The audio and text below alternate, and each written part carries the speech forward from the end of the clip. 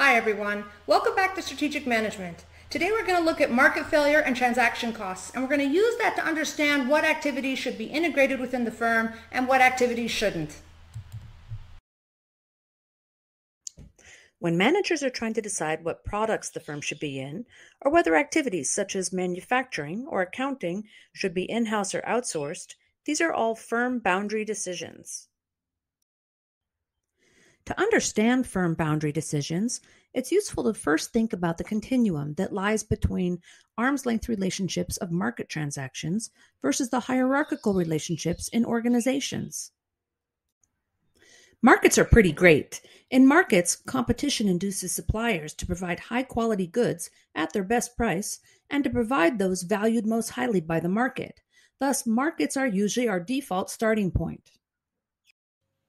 But some products and services cannot be readily produced by individuals. They might require major capital investments or coordination. This can lead to the rise of organizations.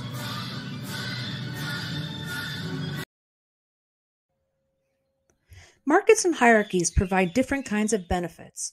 The market can process a lot of information.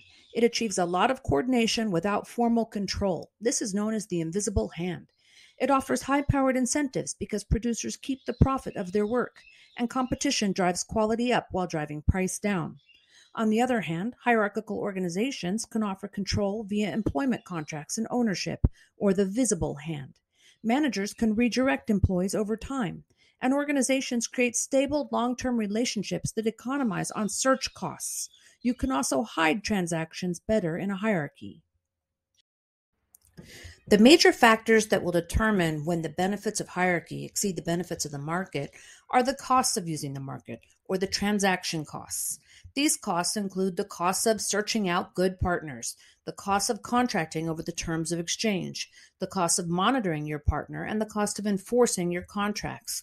When these costs are particularly high for a good or activity, we will lean towards bringing that resource or activity inside the organization or using hierarchy.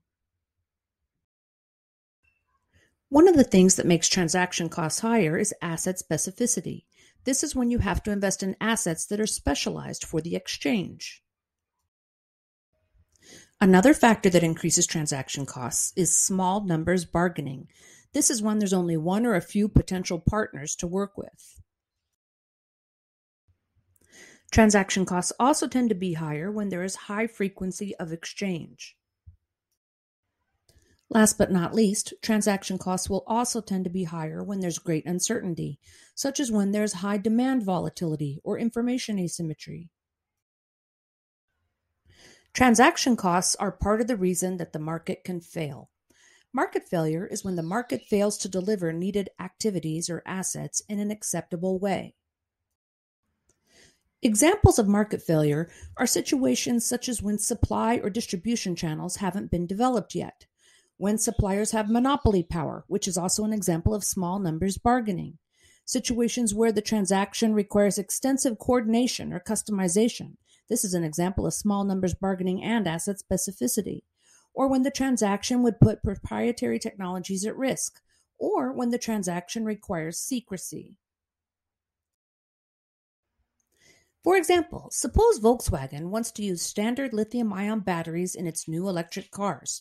There's no market failure here because Volkswagen can easily buy these on the market for a fair price.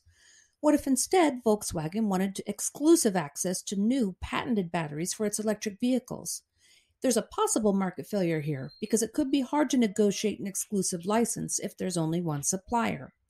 What if instead Volkswagen wanted exclusive access to trade secret battery technology?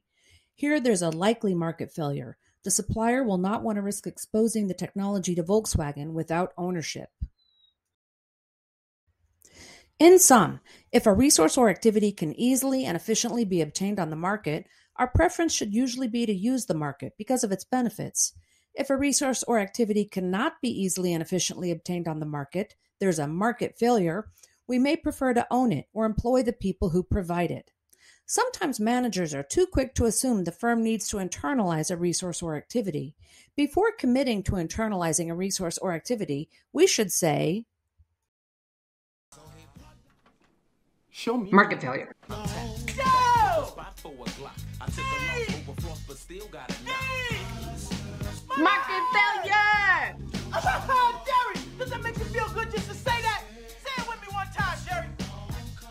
Sure you Market failure. No, no, no, you can do better than that, Jerry. I want you to say it with you with meaning, brother. Hey, I got Bob Sugar on the other line. I better hear you say it. Yeah, yeah, no, no, no. Show you the Market failure. Not, not show you. Show me the Market failure. Show me the money. Market failure.